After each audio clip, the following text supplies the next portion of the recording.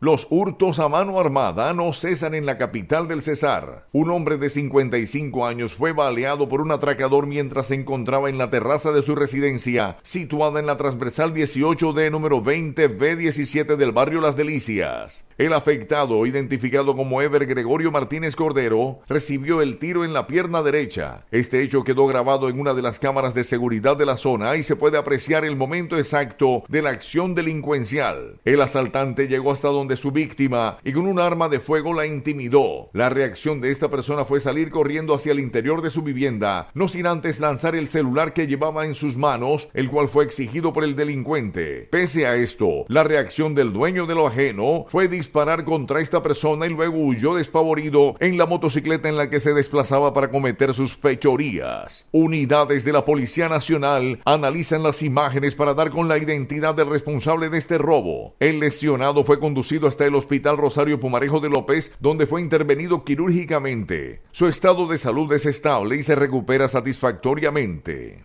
Bueno, él llegó en la moto y, y me apuntó, a lo que me apunta yo salgo para él. A lo que se salgo, él me tira un tiro en la pierna, pero me falla. Después me tiró el segundo, donde me, me fregó. Y entonces ahí caí se me llevó el celular nomás.